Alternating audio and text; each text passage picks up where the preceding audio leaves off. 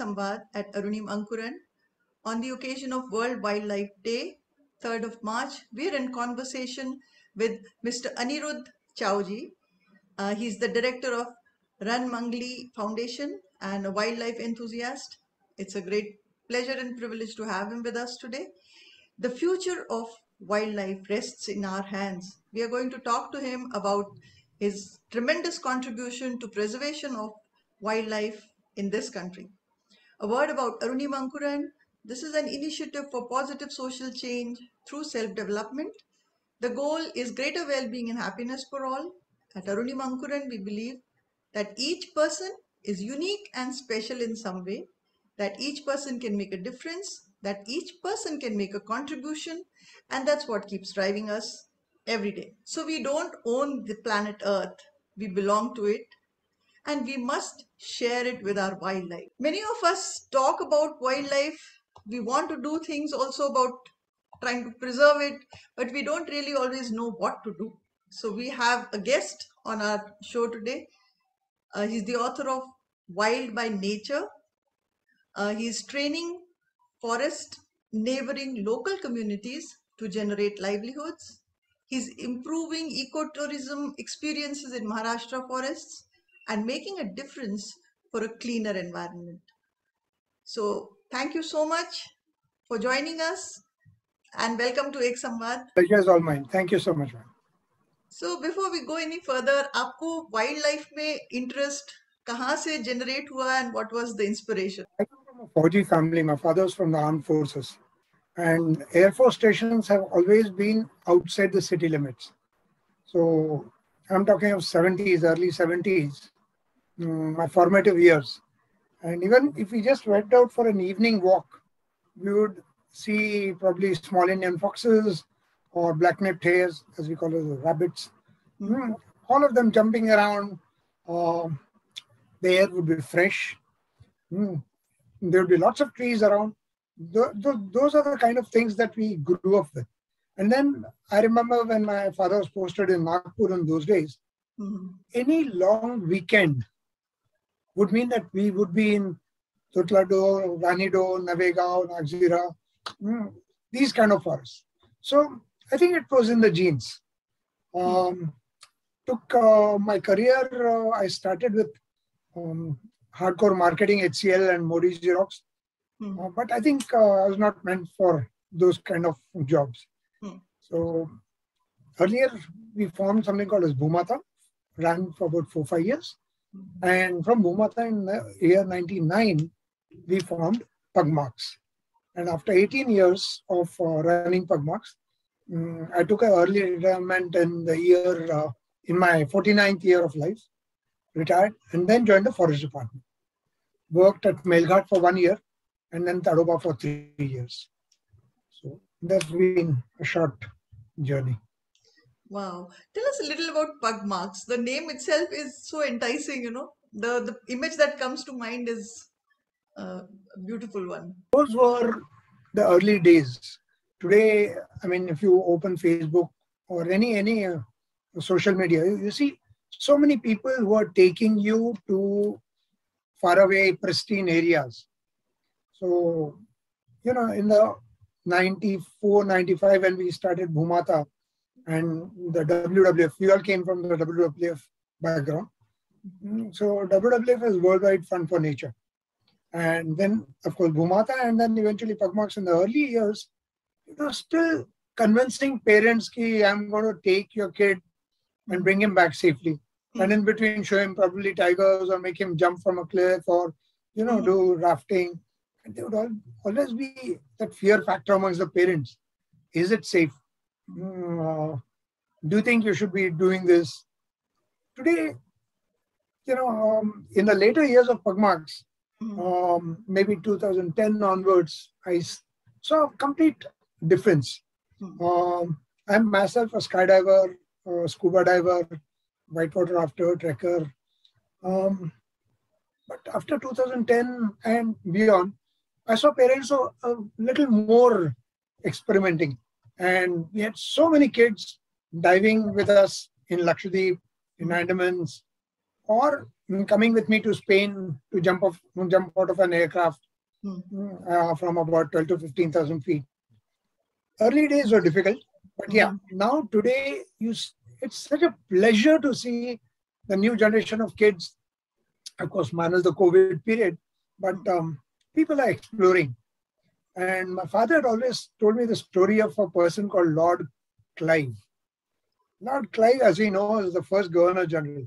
But his history was at the age of 18, he was kicked out of his house in England, Hmm. boarded a ship, went to Brazil, and then eventually came to India.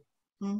Imagine, can any 18 years old in India go off on his own, take a ship, and you know, when out of the 10 ships, three or four would sink in those days?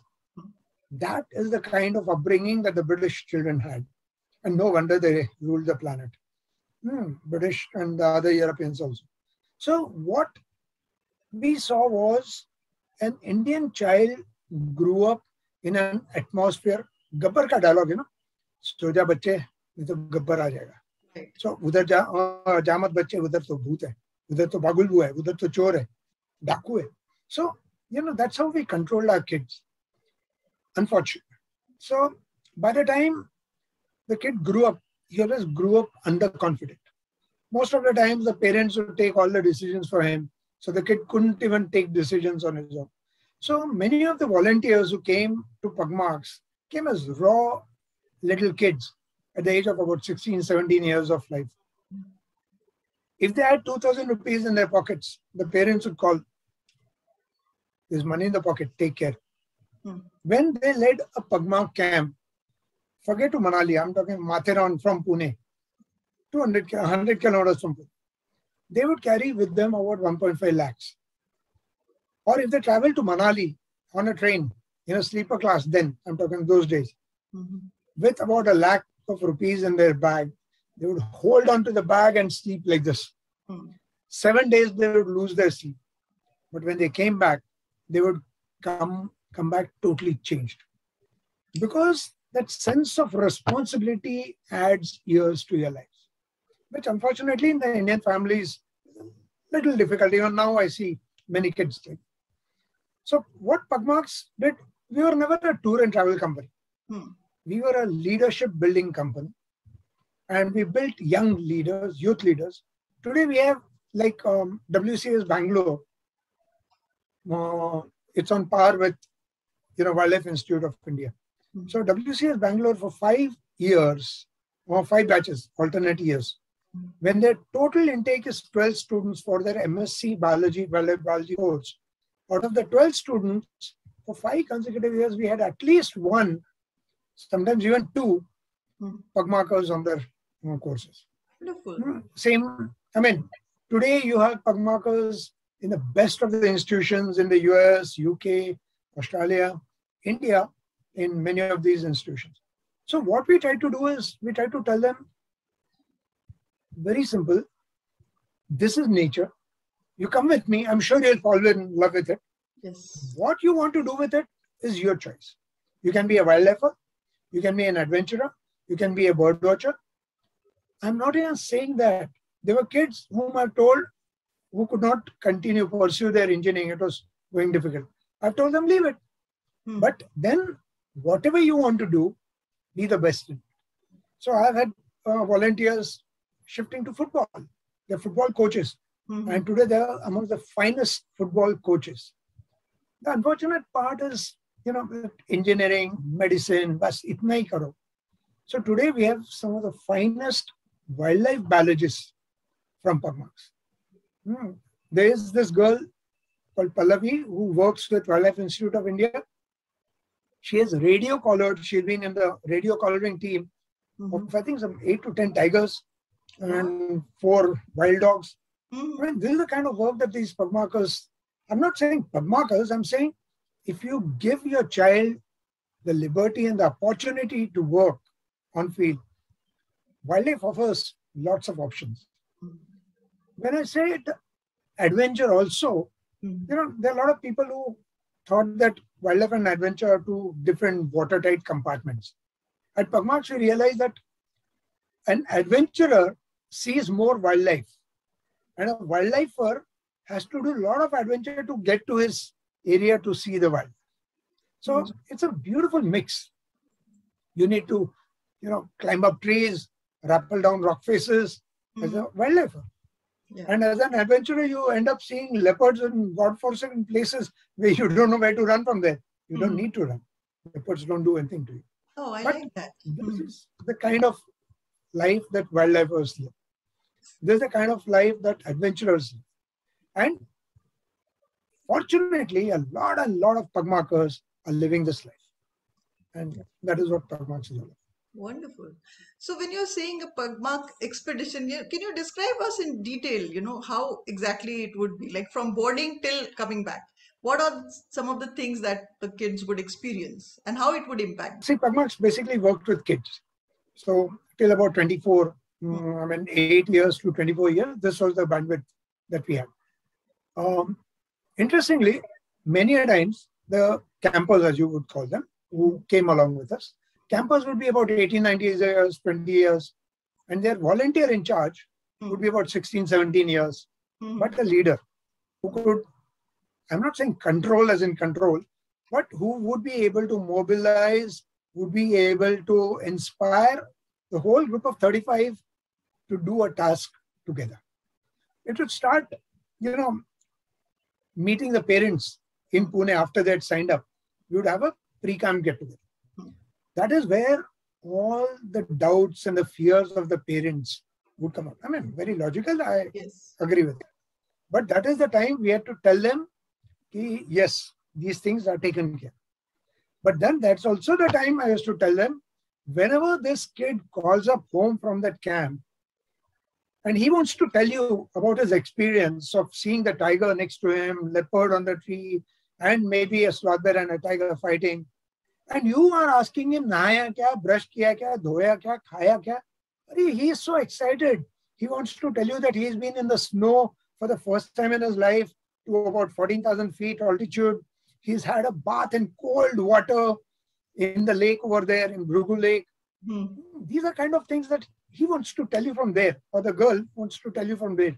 Hmm. And you want to ask him, brush kiya kya? Hai kya? so I said, listen to him and listen to her. And also, once they come back for one month, listen to their stories. Because it's going to be such an exciting life for them that they would have experienced in that short eight to 10 days that they were with us. So, anyways, we would travel um, early days, we used to travel in trains in, uh, the sleeper class. Mm-hmm. Then, of course, we shifted to the air conditioned uh, class. And then uh, lately, most of the camps now travel by flights. You save a lot on time also. Uh, and the flights are much more economical and reasonable. Once you reach the campsite, wherever it could be in Lakshadweep down south, it could be the Andamans, it could be somewhere in Spain, it could be in Malaysia, or it could be in Ladakh. Wherever you reach, the first day is a shock because you've never been in such a place. So it's a culture shock. It's a place, oh my God, where am I? Kind of, and oh my God, where am I? Mm. Also, you get overawed by the whole. Second onwards, they're a little more mellowed down and they start listening so this is where our activities would begin. We have a campsite in, um, you know, very close to Dehradun, hmm, at Mukteshwar. The first day, the first activity is treasure hunt. But this treasure hunt is very different. We send the kids with all the treasure hunt clues into the neighboring village where they have to go and meet people by names, search for them in the village, meet hmm. them, hmm. interact with them, and then go and find the clue. On day five or day six, you go into the village again and you work in a family's home in the village. And that's how you earn your lunch with the same family.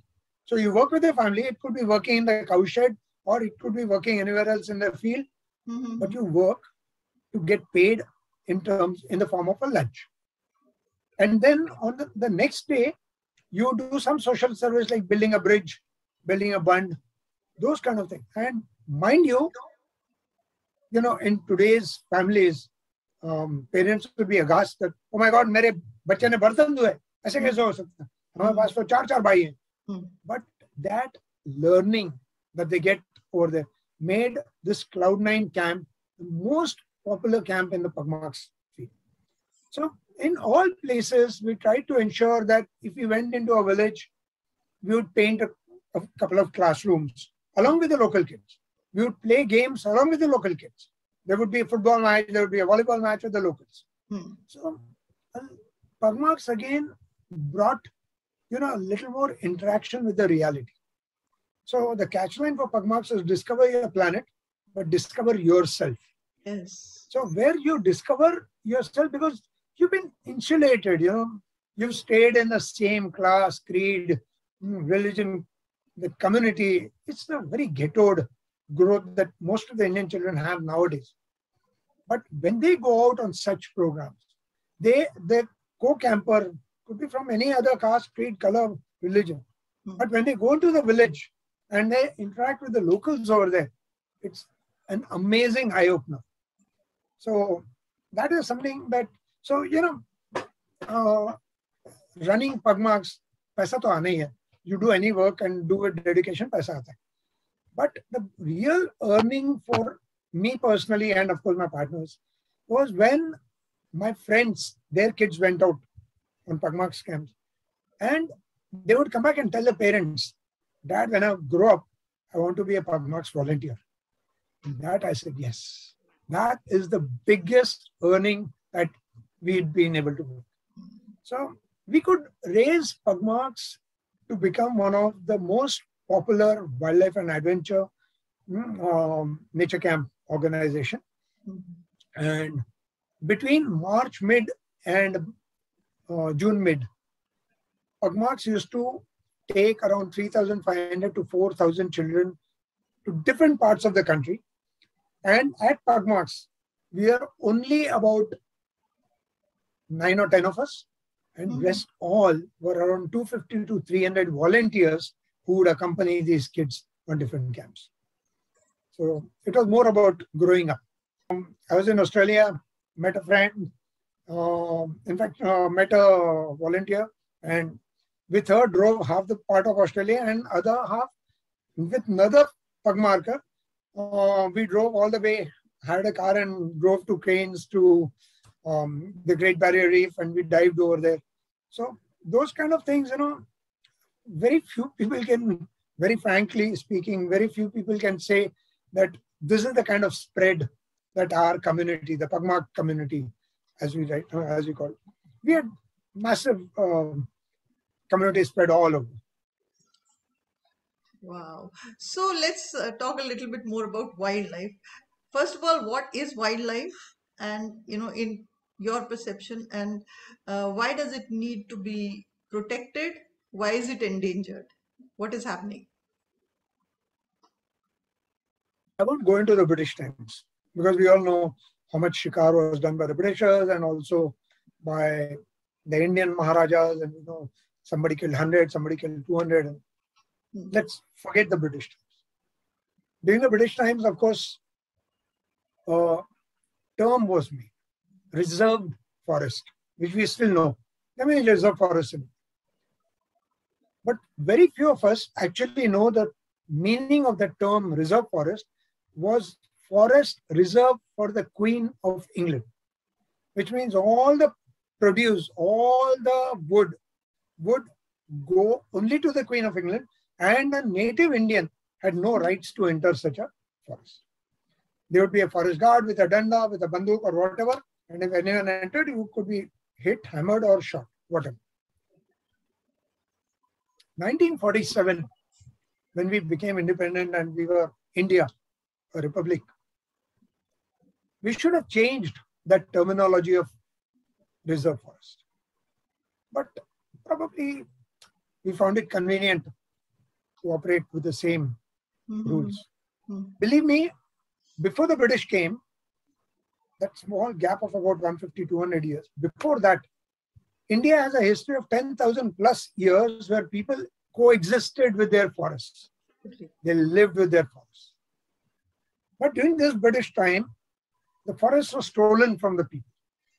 and people were kept away. And unfortunately, after 1947, we did the same. We continued with the same policy. From 47 to, let's say, 72 years now, we are still faced with one problem that our forests are diminishing, the trees are going, the animals are being poached. Why hasn't things changed? Why haven't the things changed in these 70 years? Why is it that we are still faced with the same problems of wildlife fighting for a survival? Yes. Species like great Indian bustard. I was in a particular park in Maharashtra Mhm. and I was watching a bird, the great Indian bustard Maldhok. And suddenly a guy comes next to me and says, "Bird na mar jana I said, "Kya कह रहा है?" नहीं नहीं I said, "क्यों?" तभी तो humare yaar development आएगा. And that was the biggest eye opener that I had. People who live in the forest, hmm. no electricity, no water, very poor roads, no medical facility, no schooling, Hmm. nothing. But then they are told, जंगल बचाओ, शेर बचाओ. He said, किस खुशी में भाई? Hmm. किस खुशी में बचाओ? Mhm. So he was all the time kept away from all this. A person living next to the forest was not supposed to have any aspirations at all. Mhm.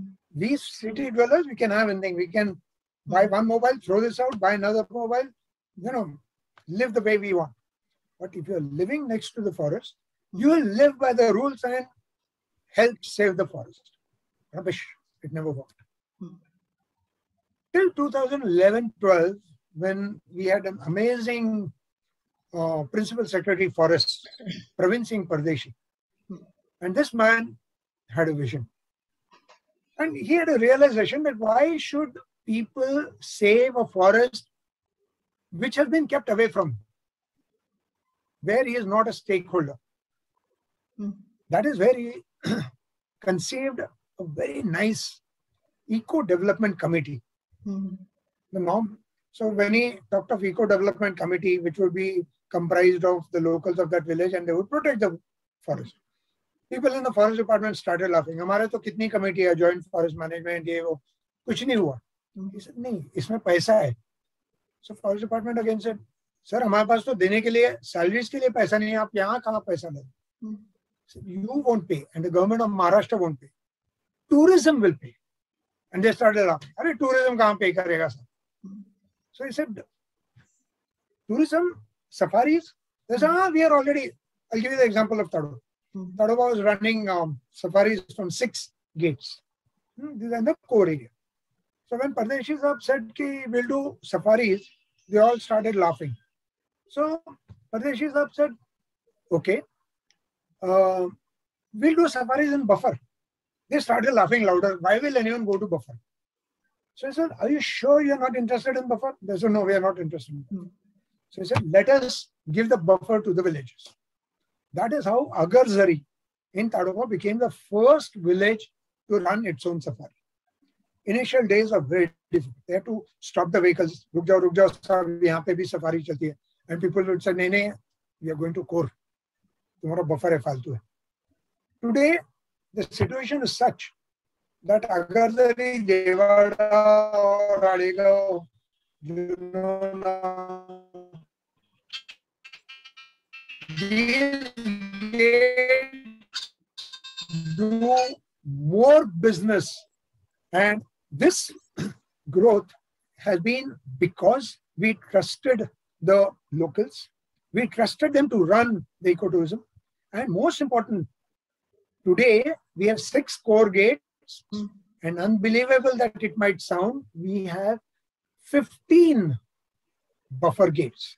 14 for safaris one for night safari special. Hmm.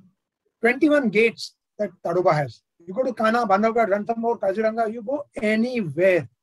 You have two three or four gates. Hmm. tadoba has 21 gates 21 gates plus six amazing activities uh, I'm sorry, 12 amazing activities, Hmm. which means almost 30 to 35 villages around Tadoba are directly benefit benefiting from tourism. Hmm. And which means today people realize that if they did not look after their forest, if the animals like tigers died, or if the forest vanished, tourism would vanish, their money that was coming would go away. Mhm. Everyone today is a stakeholder Mm. and wants to commit their lives to protecting Tadoba. It's an amazing model. And I keep talking at different um, you know platforms. One of them in China, I'm a part of International Association Association for Protected Areas. One of the African parks, a park director is a very close friend of mine. Invariably, our presentations used to be either his first or mine first. Mhm. He used to always make presentations. So many poachers neutralized, shut down. So many guns confiscated. So many vehicles confiscated in a country called, you know, uh, South Africa and their neighboring countries. That's where all these poachers used to come. And immediately my presentation would be so many eco development committees established, so many women getting uh, livelihood, so many men getting livelihoods. On the third year, he presented before me and it brought tears to my eyes. He said, We established three eco development committees in Botswana and the poaching has reduced so much and blah, blah, blah, blah, blah. I said, What Kanha, Bandhavgarh, Ranthambore did not learn, South African Park learned it from Tadoba. Now I'll tell you, uh, as far as MP is concerned, MP is a, a state with the finest tourism, wildlife tourism. Let's not call it ecotourism. It's wildlife tourism. Ecotourism is when community benefits. Hmm. In Karnataka, entire tourism, wildlife tourism is run by jungle lodges and resorts. There is no community in it.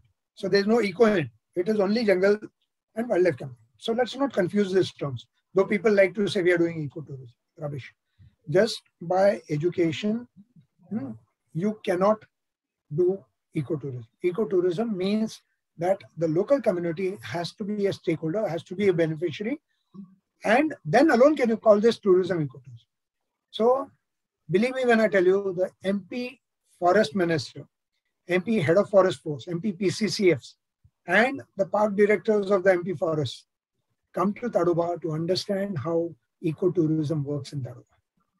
So, what I'm trying to tell you is wildlife is at crossroads. But if you're going to use a gun to protect wildlife, saying that anyone who comes down will be shot, Mhm. hmm, trespassers will be shot down, doesn't work. India Pakistan border with not just small small arms, they have AK 46, uh, 47, AK 56, Bofors, and God knows what all weapons. But so many people, infiltrators, keep coming in. And forest guard with a danda, what will he stop the poacher? Only solution is when the local villagers spot a new element walking in and then question him, kahan se ho? Kaha ke- liye? Hmm. and realize that he is a poacher and then hand him over to the forest department or shoo him off. Mhm. So when you have friendly neighbors, you don't need guns. So that is what Tadoba has shown. Hmm, None of our officers carry guns. Hmm. And from 2012, when we had 25 tigers in Tadoba, we have 115 tigers as of now, plus Mhm. 250 leopards, approximate. Hmm. 100 to 115 tigers from 25 and 250 leopards. We have huge prey bases, sambar deer, spotted deer, Mhm. hmm, blue bulls, wild boars, in a very plentiful condition. The habitat has improved, Mhm. mm, water bodies have improved, grasslands have improved, but more important, our partnerships with the local community has been phenomenal. They are our protectors. They are our stakeholders. So when a tiger walks around amongst these, remember it is 1.5 lakh population in almost 80 villages which are a part of the buffer. Mhm. It is not a small population. Yes. So the probability of conflict is very high. yes. Our problem is tiger, when it's moving around these villages, we are very happy. We are still comfortable. Hmm. The moment it leaves these villages and goes outside the buffer, Mhm. that is where we are not very confident. You know, but inside the buffer area, the tiger is safe. And I think this is what, uh, so coming down to our uh, World Wildlife Day, you know, 1973, the CITES signatures, the signatories to CITES agreement mm-hmm. came together. And that is where, you know, this World Wildlife Day came, came into being. Um, not to be confused with our Wildlife Week, which is in October. So that's in India. But as far as uh, this thing is concerned, Wildlife Day is international. So CITES is fighting a losing battle worldwide for trying to protect species from human pressure. One is the more important is the habitat destruction, hmm. which is very important. Yes. Because as the human population grows, and nobody talks about the human population growing, I don't know why, but as the human population grows, the demand for food and the demand for cultivable lands increases. True. And this brings into conflict people and the forests. Mm-hmm. People and trees, and people and the beautiful people who live, live amongst the trees, mm-hmm. the wildlife. Yes. So, what happens is the battle at CITES, and of course, all the internationally, all the countries are fighting, is you know, it's difficult to stop the growth of population at this stage. What happened is our life, longevity of our lives has increased because of the medicines. Hmm. But the number of people have not reduced. Mm-hmm. Or the people number is continuously increasing, if I may put it more politically correct. So this planet can only sustain certain number of people. Hmm. And this is where the problem is. So if people live or forest, it can't be both together. Hmm. I mean, that is what is being seen. So as a part of this World Wildlife Day, all over the world, we are trying to increase that sensitivity amongst people for wildlife.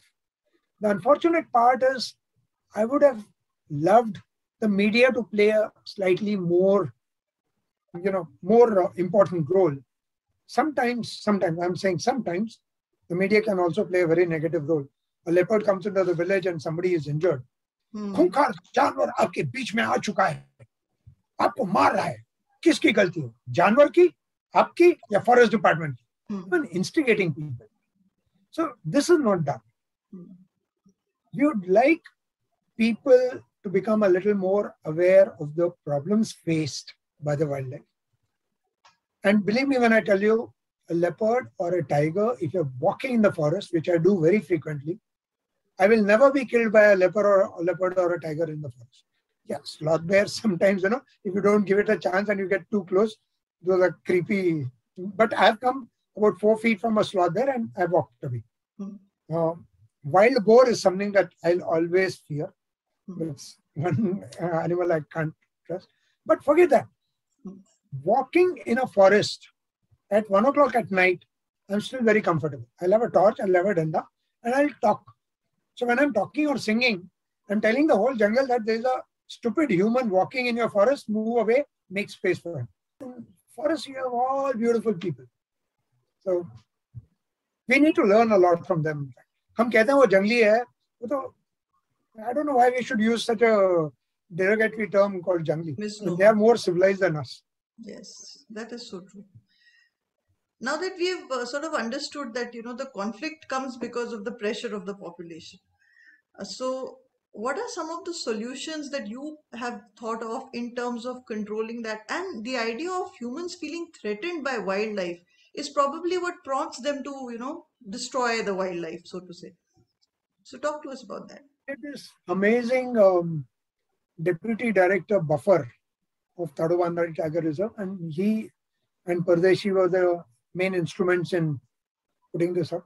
Mm-hmm. Hmm? Gajendra Naravne, and now we have uh, Guru Prasad. Amazing officers, and of course um, the field director himself, Ramgaonkar, and the earlier field director Praveen very, very motivated people. So you have a very apt question. So we are also, I mean, um, Naravne in those days also faced this problem. That how will you make people feel compassionate about Hmm. wildlife? Yes. How would you make them feel safer with the jungle around them? Hmm. Let's talk of the population which lives in the buffer. We are not even talking of people in Chandrapur or Nagpur, Hmm. which accidentally you have a stray animal coming in. But otherwise, we are talking of people who live with wildlife. How do you make them feel a little more comfortable? Hmm. So, in those days, Naravne started a beautiful initiative. Uh, we built a campsite at Agarzari, and now we have two, Agarzari and Madnav. Mhm. One of the most fascinating activities that Tadoba runs is children from the schools of these buffer villages Mhm. are brought by the Tadoba Andhari buses. TATR buses, bring them to this campsite. Mhm. Many children stay one day. Many of them stay overnight. They stay there. Uh, we have partnered with BNHS, Bombay Natural History Society. BNHS runs camps for them. Mhm. These camps are not about gyan. These camps are about making people fall in love with wildlife. Yes. These children are taken for a safari. Hmm, You know that child when he doesn't eat at night, mummy says, "खाले बच्चे तो Hmm. Gabbar शेर आ जाएगा." So that child would never have been fascinated by wildlife. But Hmm. now with these initiatives that Tadoba runs, it's so charming. That kid when he goes back, Hmm. Hmm, it's also happened. I've asked one of those kids, more khaya? He said, khaya. Hmm, हिरण खाया खाया सांबर खाया खाया अच्छा रांडूकर खाया खाया अभी तूने क्या नहीं खाया? शेर। So you know they come with that background and on the when they are going हम जाके ना मोर बचाएँगे हम जाके हिरण बचाएँगे क्योंकि they are now our friends so answering your question I think the entire nation has to be made to fall in love with our wildlife look at rajasthan look at gujarat Yes. look at the bishnois Yes. Eh, Look at the kind of conservation.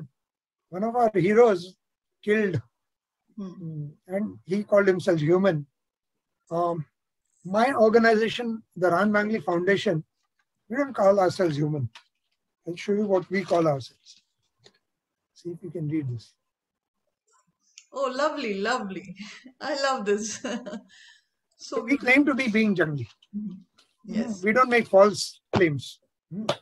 So, you know, this, if tomorrow a person like Aamir Khan or Shah Rukh Khan in their movies talks about wildlife, talks about conserving the tigers and the leopards, and that movie may fail in the box office.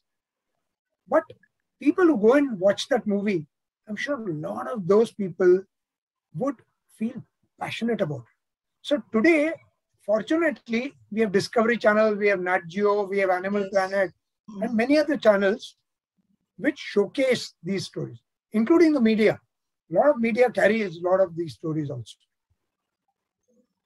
A common Indian family has now started understanding that we have good wildlife in India. Hmm. But that desire to protect it, that want to protect it, has to still come. Hmm. So that happens when people come to, let's say, Tadoba, Nagzira, Hmm. Kanha, Bandhavgarh, when they come and see the wildlife, Hmm. And not just the tiger, because many people come only for the tiger, but when they see a jungle, they realize that, oh my God, what a dirty place we live in in a city. All garbage, smoke, and dust. And look at this jungle. These animals are privileged to stay in such an environment.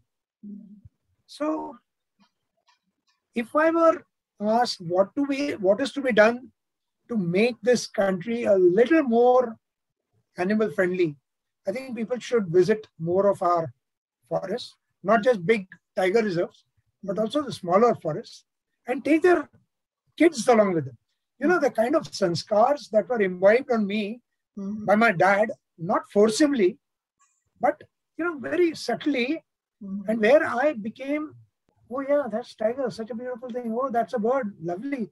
Hmm. That is the kind of passion or the compassion which I had towards wildlife. That needs to be imbibed into the next generations. Hmm, That is where I think thing, things will start changing for this country. So, yeah, um, I mean, through your medium, I would like to appeal to all parents to take their children to different jungles, not just Tadoba and not just for the tiger. Take them to see birds.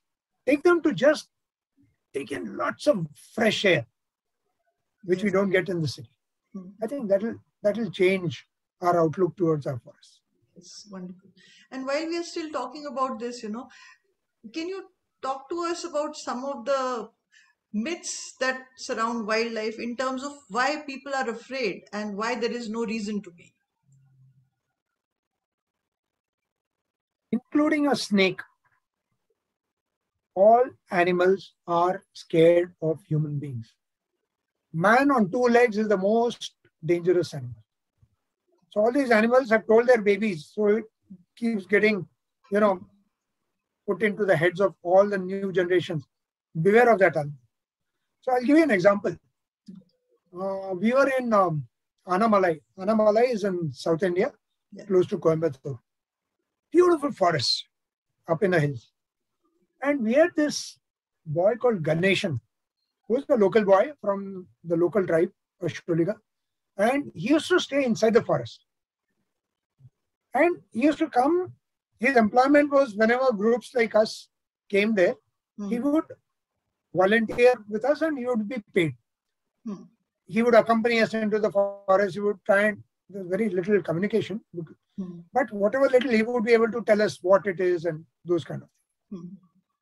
he used to work on the camp with us till about 9.30 at night Hmm. after dinner he would go home 5.30 to 6 he would be the first person to come and give a wake-up call on the door Hmm.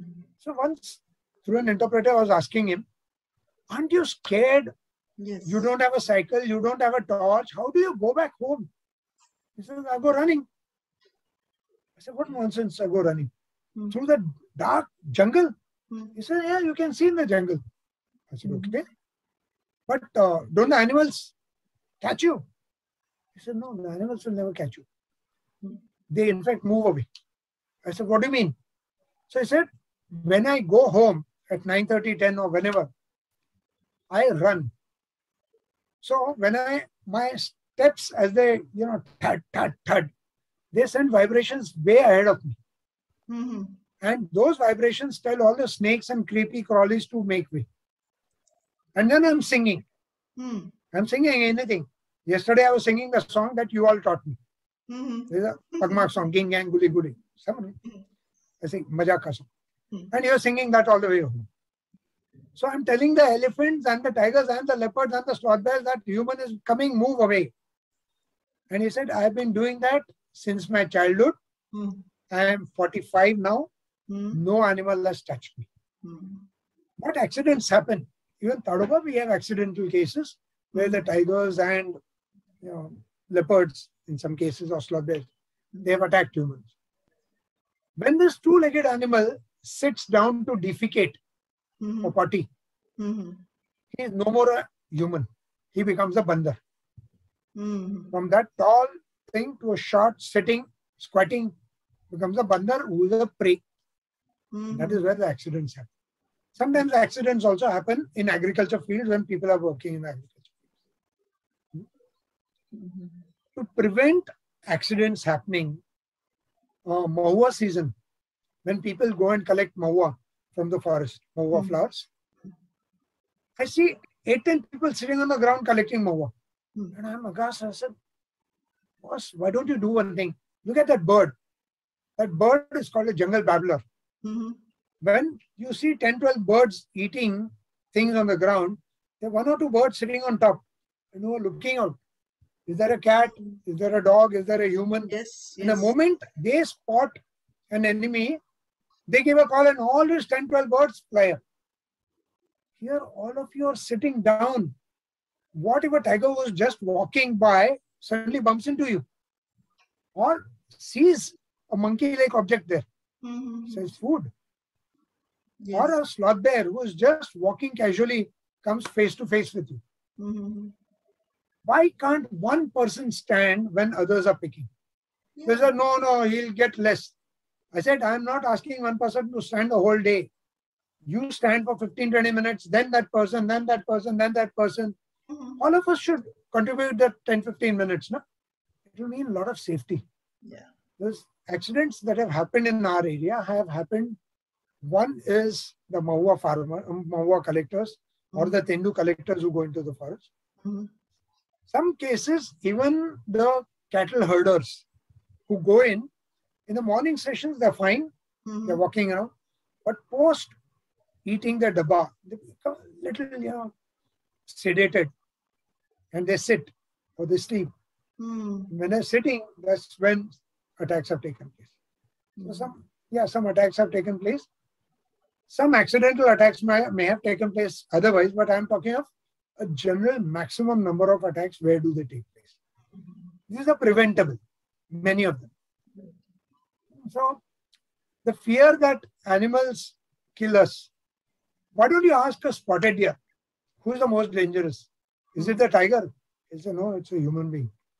So the number of human beings and the number of spotted deer that have been killed by humans, number of sambar deer, number of tigers.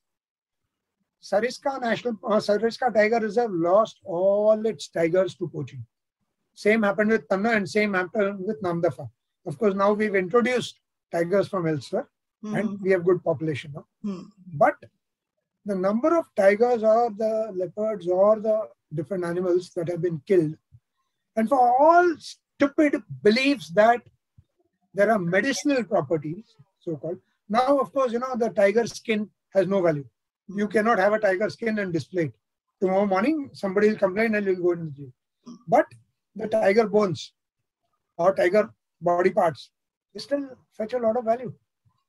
Sloth bear, the bile from sloth bear which is huge amounts. Stupid beliefs.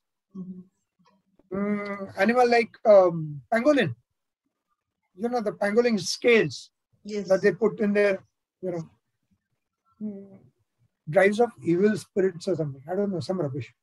Mm. So these kind of things are uh, irrational, Mhm. unscientific, and have their efficacy has never been proven. Mhm. But the animals have been killed. Yes. What we need to do is um, we need to ed- say educate is hardly a word. I mean, ev- everyone is educated about the need to save wildlife.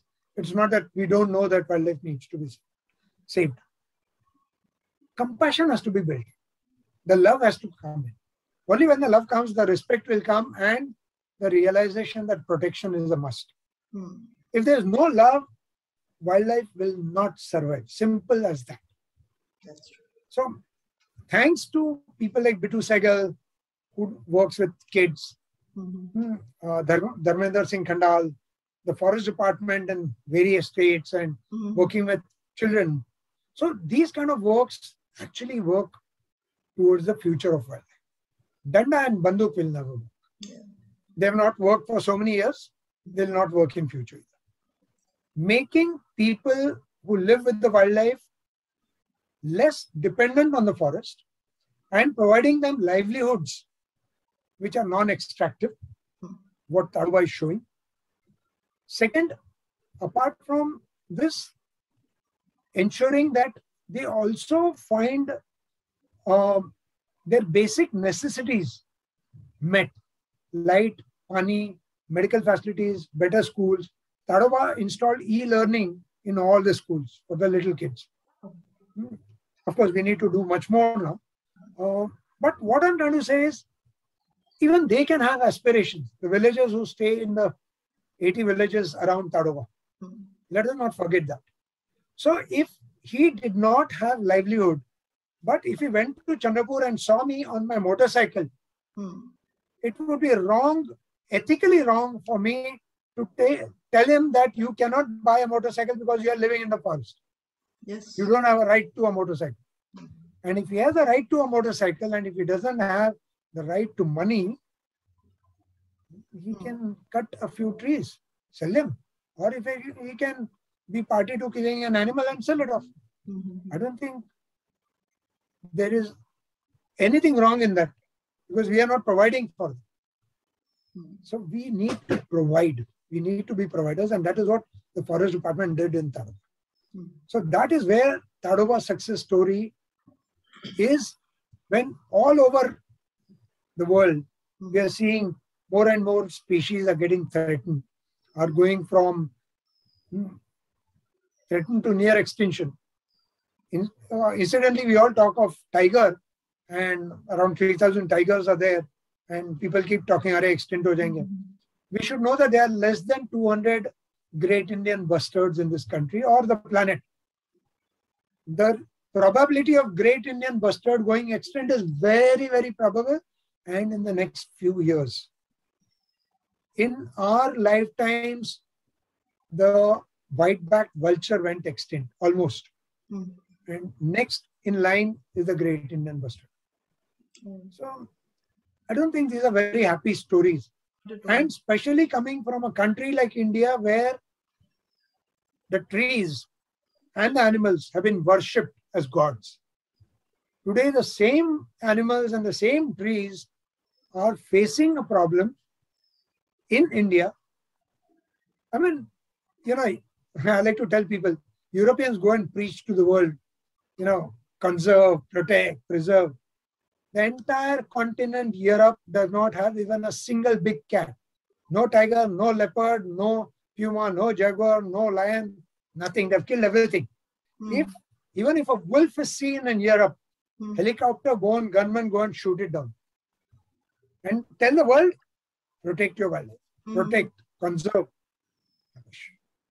They should not be telling all this to Asians, Hmm. Africans, South Americans That conservation is a part of life Hmm. because tiger is a god to us. Hmm. If you go to Tadoba and Hmm. drive around in Tadoba, you'll see uh, statues of the tiger. I thought Shiv Sena ruling Tadoba. I said, no, there must be something else. I realized there was this man who told me, हाँ वो वागोबा है और वो वाघिन है Mhm. दोनों तो tiger से दिख रहे नहीं नहीं वैसे नहीं a tiger had killed a man there उसलिए Wagoba and tiger had killed a woman there that's why वागिन I said tiger had killed a man or man had killed a tiger they said no no tiger had killed a man I Mhm. said, tiger ने आदमी को मारा और आदमी ने पुतला बनाया tiger का He Mhm. said, "Huh?" I mean, this is conservation. This is tolerance. People who live next to these tigers, this is the kind of tolerance that they have, that they have made this into a deity, into a god. Mhm. हमारे घर में एक चूहा आ गया one cockroach in our house in the city you know what happens i think a lot of women started climbing chairs and tables when they saw a rat in the house so we should not teach conservation and tolerance to these people who live in the village and the europeans should not be teaching us conservation because it's a part of our it's in the veins हमारे नस नस में है। Yes. गांव में अभी भी है शहर दूर निकल चले Mhm. शहरों को भी वापस लाना है जगह I think uh, you know you spoke about that. It's uh, bringing back a memory. We've uh, watched it on TV only. Uh, meerkats. That's what they do. You know, they they keep watch, and then the moment they see something threatening them. So I've always been so fascinated by that. It's such a beautiful arrangement, and so brilliant. Actually, you know, J- uh, I think so much to learn from uh, them. I think, and uh, Oh, in fact man is learning from biomimicry is the word where we keep learning from wildlife so if you've seen a f-16 fighter aircraft mhm, and if you look at a kingfisher bird flying you would say the kingfisher is copying the f-16 mhm, That's not the way. I mean, it's the other way around. Our designs, the streamlined designs, are from birds. Or when the Rafales came from France to India, they came in a V formation. That's yes, the same formation that the birds use while migrating. absolutely. Or um the geese, the bar-headed geese. You know, the higher you go in altitudes, the lesser is the air resistance. That's why our aircraft, even the Boeings, fly, at about 30, 35,000 feet. Mhm, Incidentally, 30,000 is the altitude at which the geese fly. mhm. And the captain tells you, you know, the temperature outside is minus 50 degrees. Mhm. So that's where the geese fly. So there's so much that we are continuously learning from the wildlife. And I think we know about 2%. We still don't know how the tree sends water all the way up to the highest branches. If you needed to send water, the kind of pumps you would Mhm. require. Mhm. And the tree does it so easily. And we still don't know the exact mechanism. There are lots of postulates, but Mhm. no one can confirm tell us. Or how do the birds migrate? If Yes. at Nagpur, at Gorewada Lake, if there is a particular duck coming, and if I ring it, put a ring around its leg, and keep a watch, next year, almost the same day, the bird will come back there. How does he know Gorewada? Does he have a GPS? Does he have Google Maps? I don't know what he has. But they come. And they go back there. Yeah. Many times they come earlier and the chicks come later. How do they tell the chick, Hey, Gorewada Ajana? Oh, how? But chicks come Amazing all on their own. Huh. Amazing. In some cases, the chicks come before. Hmm. How have they been told? Kahan jana hai? So it's mind-boggling. Yeah. Feel and there's so much to learn from that. Yes.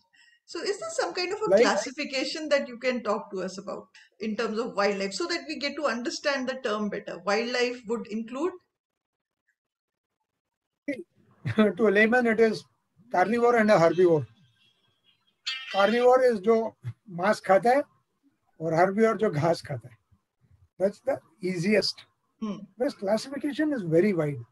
Hmm, It is chordate and non-chordate. That is with the backbone and bones Hmm. and without backbone and bones. Otherwise, we call it the lower animals and the higher animals. Hmm, So there are various types of classification. Hmm.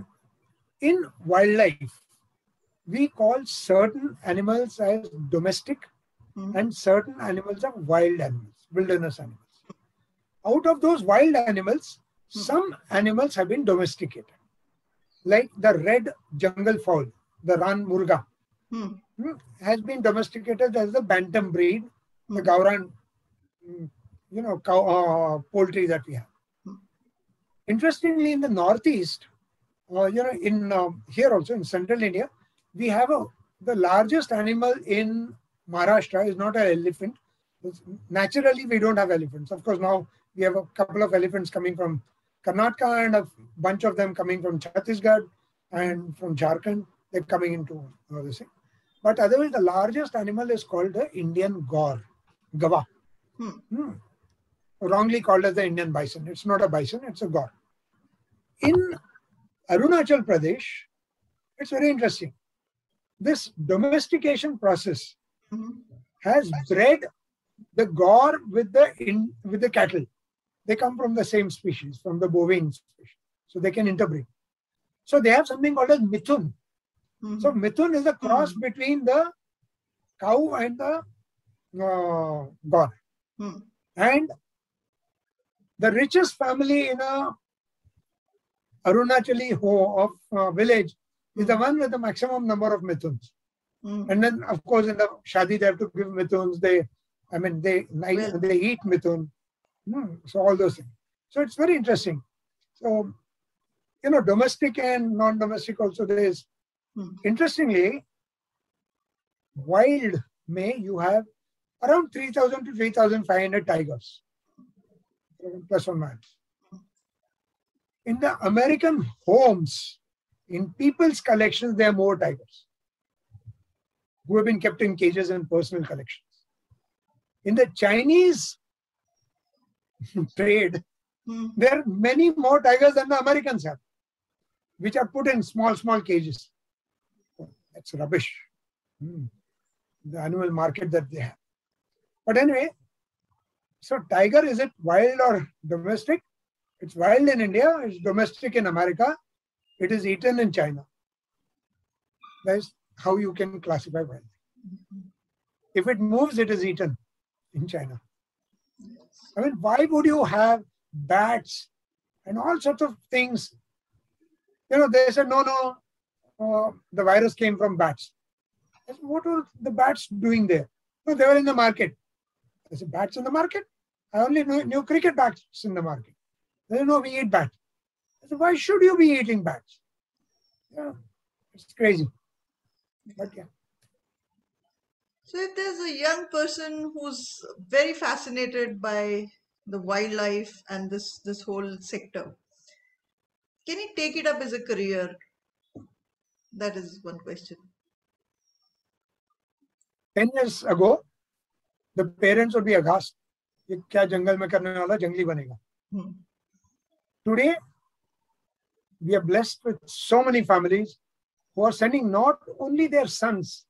In fact, Pugmarks had so many girls, like I mentioned, Pallavi Gaspar or Parveen Sheikh, hmm, Pooja, uh, and there's so many. I mean, I could rattle away names of girls who are contributing to conservation and the number of boys is obviously much more but there are so many families who are letting their girls out to follow their heart's calling. And that is what Pugmarks did. Pugmarks only showed them that this was the route. Hmm. And they did it all on themselves. They're two sisters, Pooja Rathod and Shraddha Rathod, Mhm. come from Marwadi background. But today they're doing some amazing work for conservation. So, you know, Pooja Pawar, there's this girl, hmm, comes from very basic background, but today she works with eBirds, the eBird portal.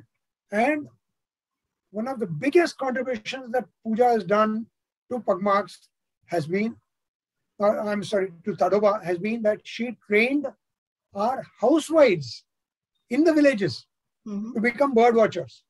And today these ladies वो till yesterday हाँ घर काम करती हूँ घर में काम करती हूँ Radho they can identify 200 plus birds and they take people for birding and as if that was not enough Guru Prasad, the deputy director, got them to take tourists for night safaris. So one girl accompanies the tourists for night safaris. Hmm, Tadoba is shown, Tadoba is an equal opportunity employer and is also a gender conscious employer. It hmm. gives opportunities to everyone.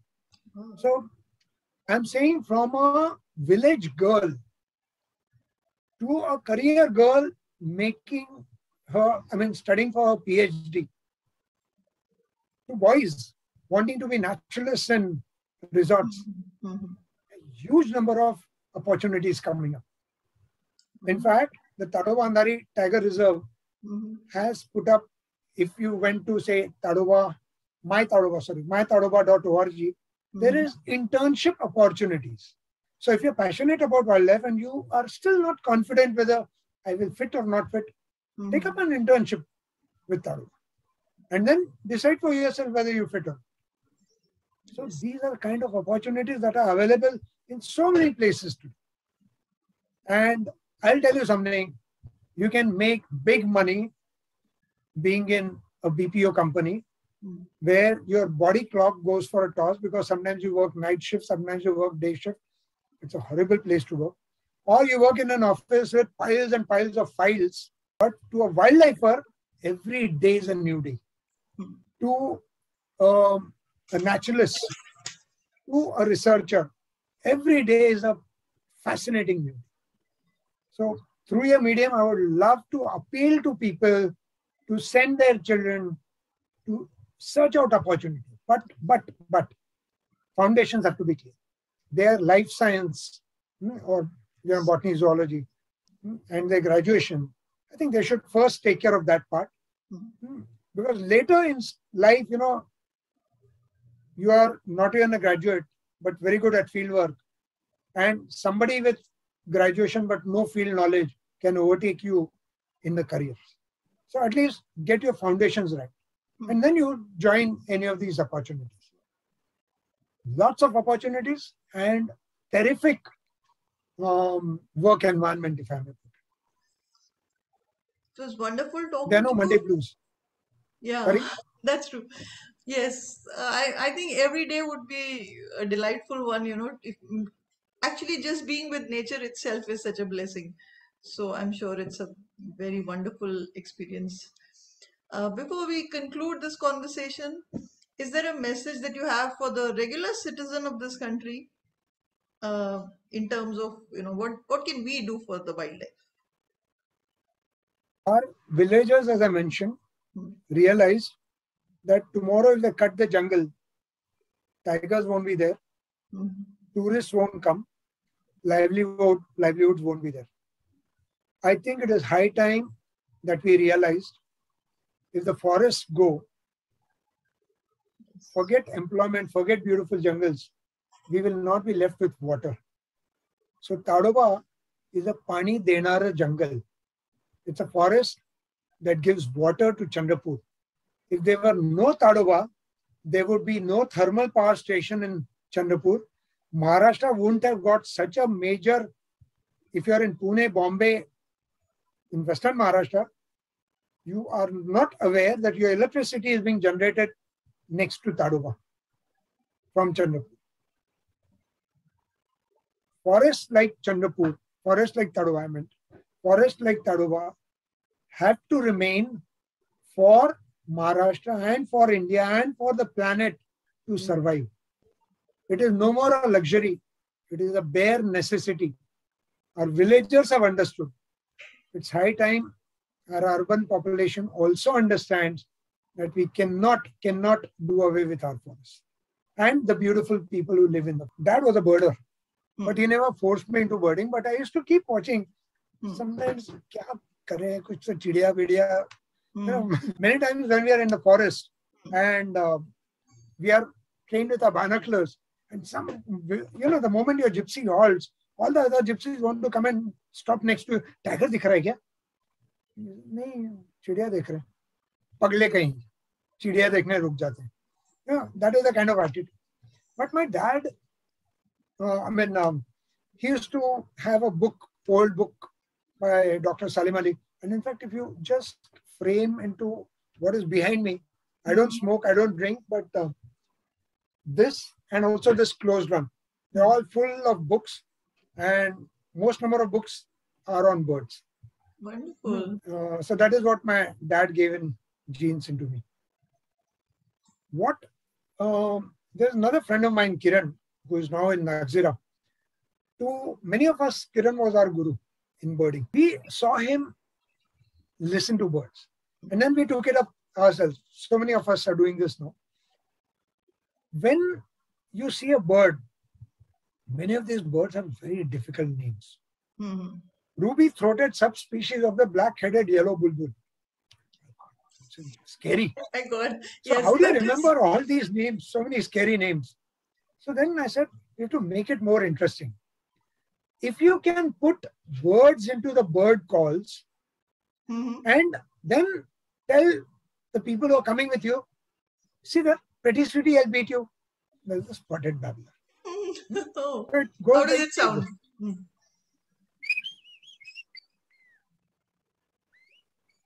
Eat you. और जो going into the jungle and you scared शेर चीता हाथी भालू कोई तो jump करेगा and suddenly you hear this call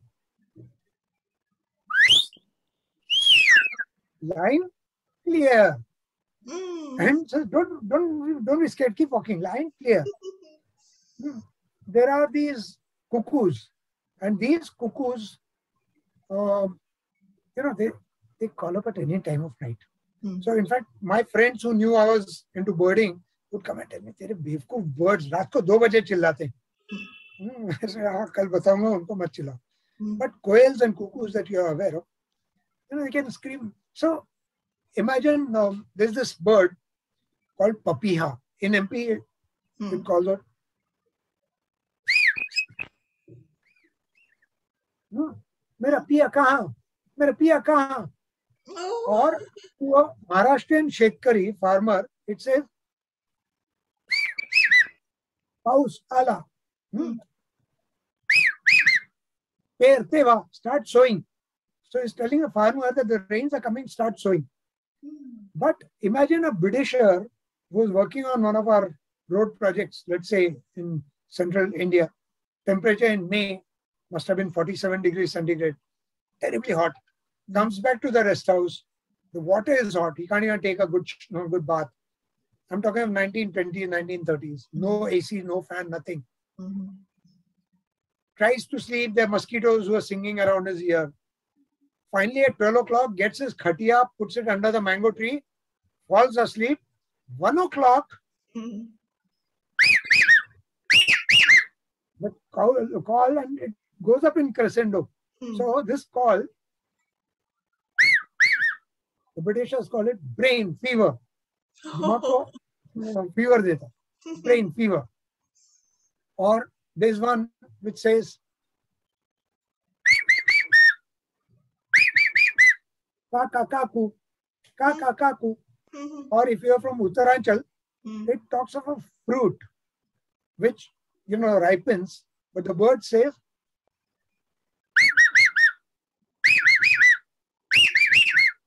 काफल पाको काफल पाको पर मैं नहीं चाखो मैं नहीं चाखो काफल पाको मैं नहीं चाखो काफल is right but I not tasted it yet oh lovely or if you've been into the area where they make copper vessels the call the sound is exactly like this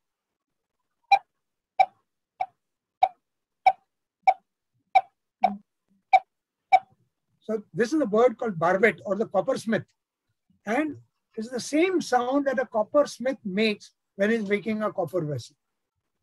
Hmm, So, and I'll give you one last one. We have an eagle.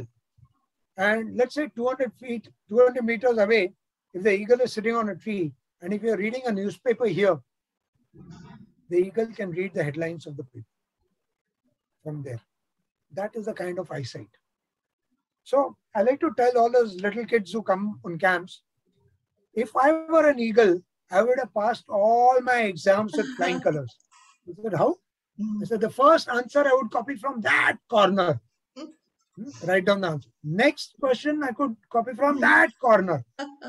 The third answer I would have twisted my neck 270 degrees that an eagle can do and copied from that corner.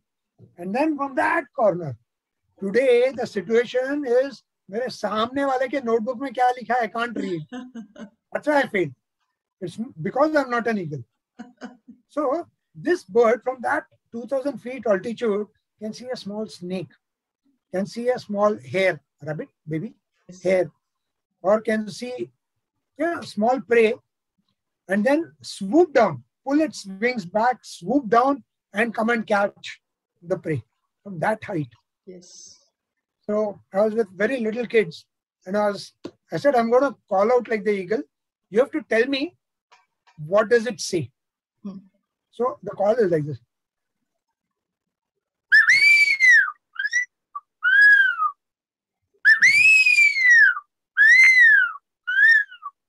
So one kid puts up his hand. I say, yeah, tell me. Beware, here I come.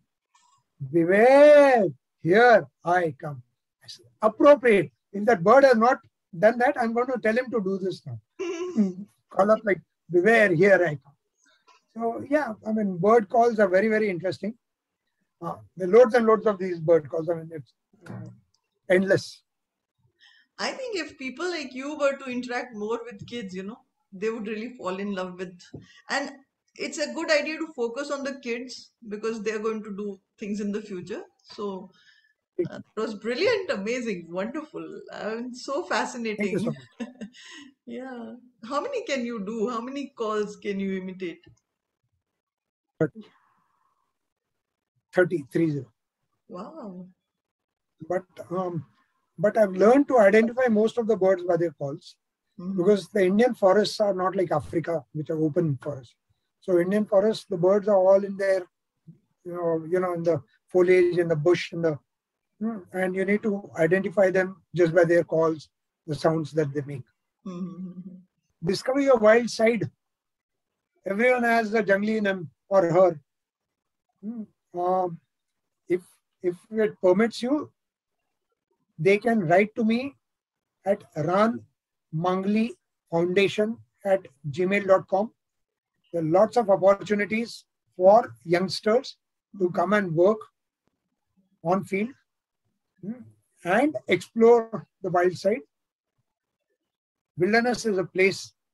Let them intern. Hmm. Let them be volunteers. Let them intern. I mean, we were all interns. We were all volunteers with the worldwide fund for nature once upon a time. That's that's how we are here today. So there are no shortcuts. You have to go through the tough ride. Hmm. By being an intern, by working with such communities, with wildlife, will give you an experience which might make you a career naturalist or a career, career wildlifer or a career in forest department. And one message, if I can give through your medium, to all the other states, most of the other states, sorry, most of the other states other than Maharashtra, come to Tadoba, come to Maharashtra, learn from Maharashtra as example, where we've learned to work with our communities, the communities are equal partners in our conservation. Yes. And that I think is the biggest takeaway. So I think this conversation is going to motivate all of us to be a little more jungly, maybe, in terms of learning from them as well as you know learning about them. Uh, great pleasure talking to you. Thank you so much for being on Ek Samvaad. And uh, as someone who cares so much for the wildlife, I think thank you from us. Thank you so much. Thank you.